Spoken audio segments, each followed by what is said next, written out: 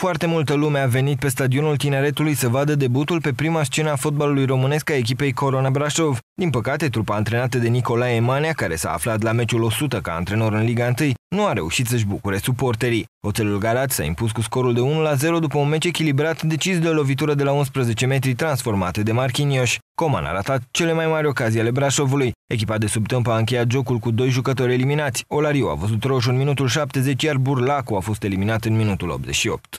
Dacă am fi marcat noi primii din ocaziile care le-am avut, poate și câștigam. Dar uh, noi am înțeles. Noi am înțeles pe unii cu experiență, eu știu, au avut un trac pe care eu nu l-am bănuit că poate să-l aibă. Din contră, că erau foarte mulți jucători care au jucat în divizia, jucători care am pregătit jocul și practic nu ne-a ieșit așa cum ne-am dorit.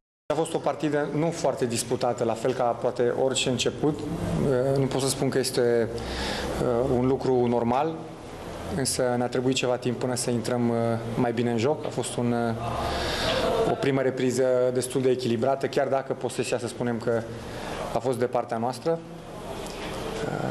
Rezultatul, în schimb, este foarte important pentru că dă valoare muncii pe care o facem împreună de, de aproape o lună de zile. Dezamăgiți pentru rezultat, zic eu nemeritat. Jocul a apărut echilibrat până în momentul penaltiului, care nu știu dacă a fost când am văzut faza la televizor, dar pe ansamblu zic eu un, uh, un X era echitabil.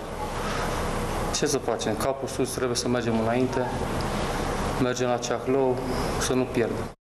Corona a debutat cu stângul în Liga 1 în fața aproximativ 4.000 de spectatori, dar trebuie să treacă repede peste acest eșec și să încerce să recupereze punctele pierdute. În runda a doua a ligii lui Mitică, brașovenii vor juca vineri în deplasare cu Ceahlăul Piatra Neamț.